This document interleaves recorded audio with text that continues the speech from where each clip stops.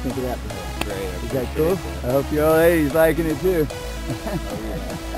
all right, thanks for jumping with us at Chattanooga Skydiving Company. We'll see you next time in the sky.